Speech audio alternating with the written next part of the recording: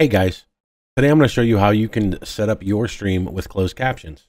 We're going to go to the OBS project website and find the closed captioning plugin. I will put the link in the description. Click on the go to download on the top right. This will bring us to a GitHub page.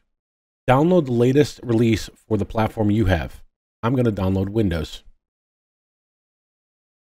Now we're going to go to our downloads folder and find the zip file that we downloaded.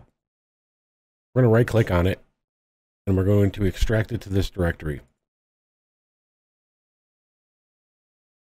Let's go inside this folder and we'll see an OBS plugins folder.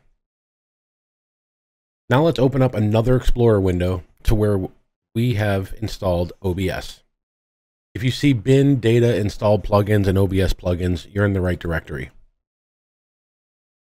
Make sure OBS is closed before you start this part.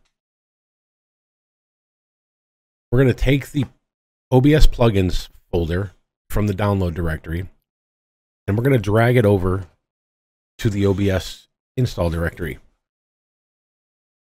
Mine says replace the files in the destination, but that's just because I already have it installed.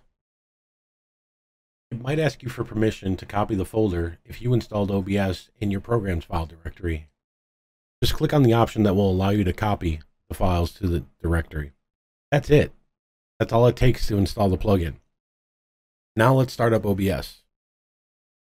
In the tools menu at the top, you'll see a cloud closed captions option.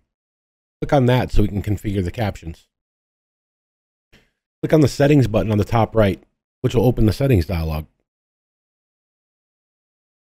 Let's start with the general settings.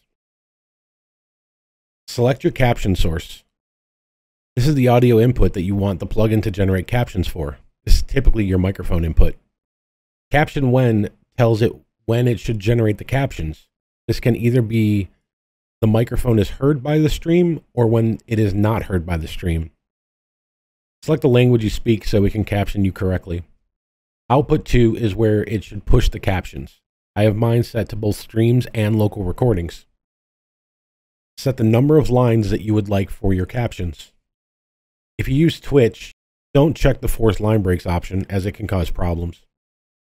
You can turn on or off the profanity filter if you don't want your captions to have any swear words. The caption timeout is how long your captions should show before they will go away.